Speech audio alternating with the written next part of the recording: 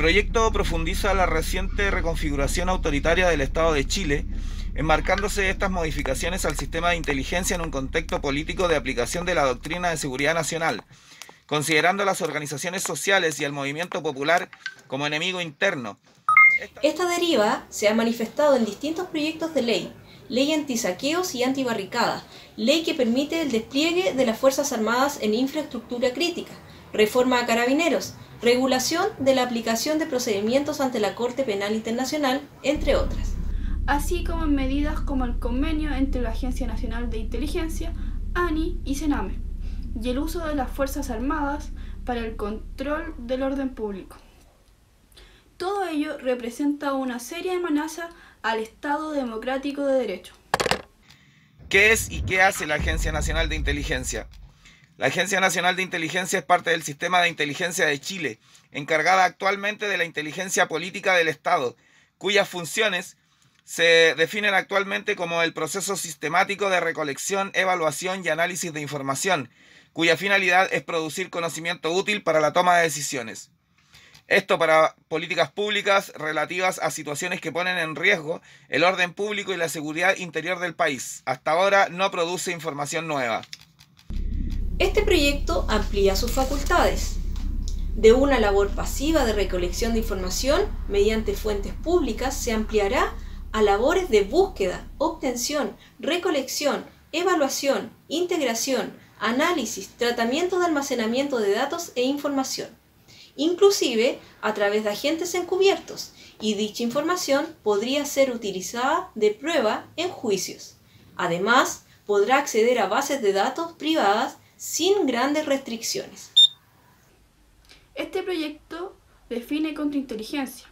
Se incorpora la noción de contrainteligencia que le permite definir como enemigo no solo a las fuerzas extranjeras, sino también a las organizaciones internas, sin distinguir entre grupos delictivos, organizaciones sociales, estudiantiles, gremiales y políticas, fijando un rigor que en materia de derechos humanos se debe destinar en exclusivo a narcotráfico, crímenes de lesa humanidad, entre otros.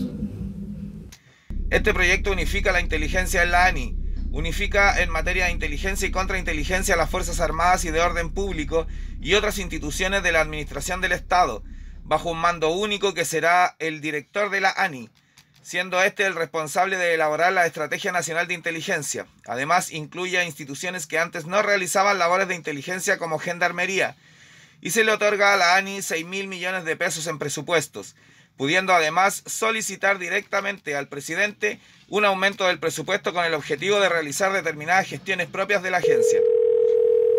Este proyecto concentra el poder en el Ejecutivo, concentra la política de inteligencia en manos del Ejecutivo, sin controles políticos o judiciales efectivos, menos de la gente. Hasta hoy, la Cámara de Diputados es quien fiscaliza a la ANI, con aprobación de la mitad de la Cámara. Con el proyecto deberá haber un quórum de dos tercios para que la ANI rinde información volviendo su fiscalización ilusoria. ¿Por qué tanta urgencia con este proyecto?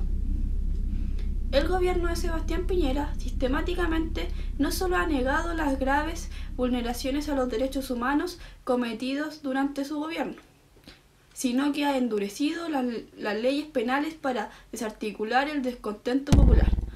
A esto se suma el presente proyecto, cuya urgencia se activa en un momento de pandemia y poca discusión democrática, con el contexto del estallido social que hubo y por supuesto en miras al proceso constituyente, antesala de la continuidad de la revuelta popular. En síntesis, se crea un sistema de inteligencia centrado en el poder ejecutivo y bajo mando directo del presidente de turno, sin límite ni controles de instituciones propias de un sistema democrático.